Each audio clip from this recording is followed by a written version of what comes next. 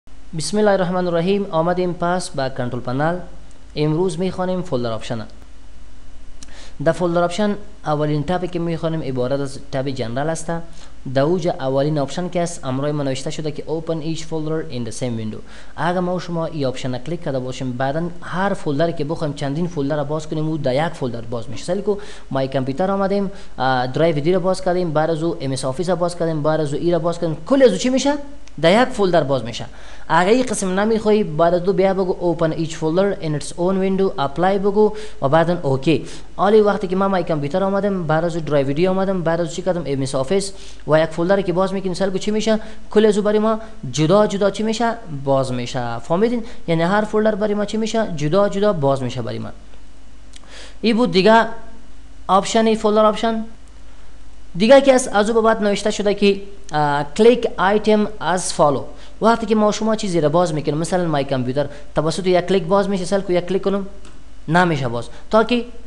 دبل کلیک نکنیم چرا بخاطر خاطر از اینکه ما خود ما گفتیم دبل کلیک تو اوپن ان آیتم وقتی که ما چیزی را باز میکنیم باید توسط چی باز شود دبل کلیک باز شود